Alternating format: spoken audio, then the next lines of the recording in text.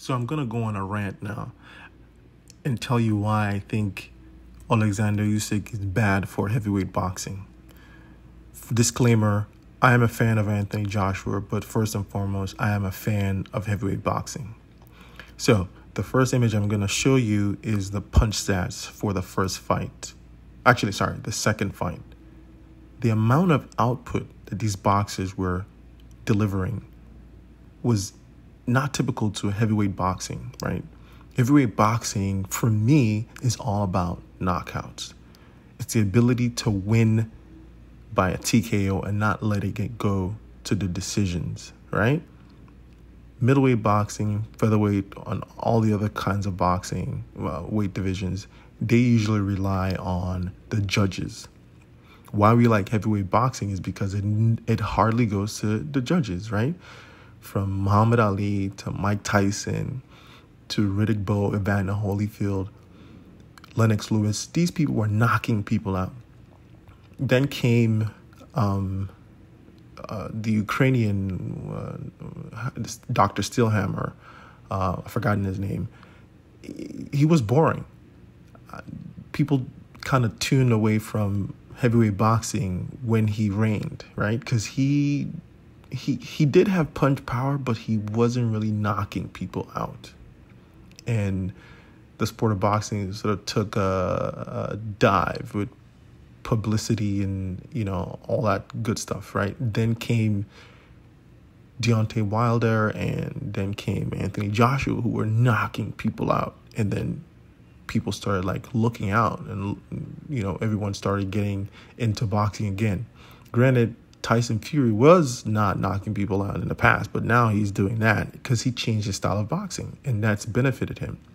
So, uh, this rant is just to underline the one reason why I don't think Usyk is good for boxing, right?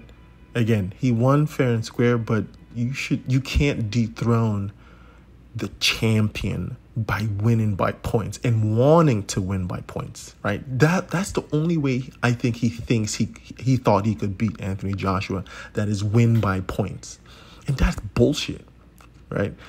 Andy Ruiz beat Joshua and knocked him out, and I think that was a fair and square win. That was like, yeah, you did it. You knocked out Anthony Joshua. Joshua did not touch the canvas one time in these two fights. Usyk was just running. Usyk was was tapping, tapping, tapping, and you can see the punch stats. Yeah, he had more power punches, but his power punches are like jabs. Again, this is not what heavyweight boxing should be. This is bad. This is outright bad for boxing. If you're gonna be the heavyweight champion of the world, the undisputed, you should not be winning by points. I think they should just take that out. Like, if you don't knock the guy out, sorry, you didn't win.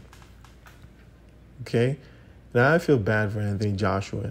I think he'll come back, but I don't think he's gonna get the belt again. Boxing these days is so slow. Before, uh, you know, one of the top guys fight, they fight like once a year and then they have to fight their mandatories. Before Joshua sees another championship opportunity, it could be three, four years down the line. Yeah, he's 32, but at 36, how many times would he get to defend the title? I mean, you're going to be gone at like 38 because, you know, the younger ones are going to be coming up. Um, so yeah, that's that's my rant. I hope someone knocks Usyk out, I think the best candidate for it would be Deontay Wilder. He would destroy Usyk because Usyk just runs around the whole ring. He's not doing shit. I think if Usyk fights Tyson Fury, it could be close. Um, but it would not be close if Deontay Wilder fought Usyk. Deontay Wilder would demolish Usyk. Uh, yeah, so that's my rant. I don't know what you guys think. If you're a fan of the sport of boxing, comment below, subscribe. Let's get the conversation going. Uh, yeah. Oh yeah, and I finally remembered the boxer that I was trying to remember his name, Vladimir Klitschko. He was a good boxer, also from Ukraine, but he was boring. Never fought in the United States as much. I think maybe just once.